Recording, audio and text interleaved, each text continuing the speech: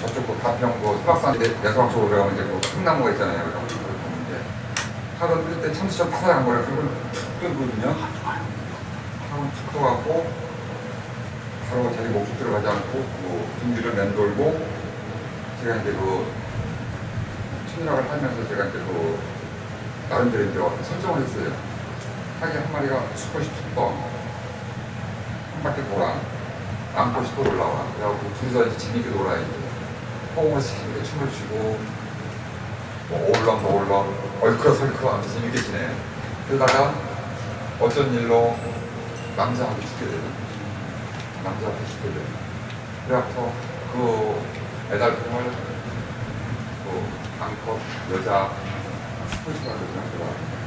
그 학이 스푼에 겨워서 그 뒤를 맴돌다가 여기는 내가 먹을 것이 아니고 빨리 떠나요.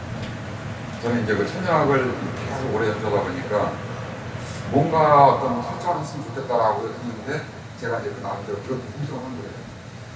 그걸 의미해서 한번 그거를 다 연상해 보면서 들어보세요. 좀더 천연학에서 더 이렇게 마음이 와닿을 수 있거든요. 슬프죠? 근데 사람, 사람은 슬픈 거예요. 잘 먹는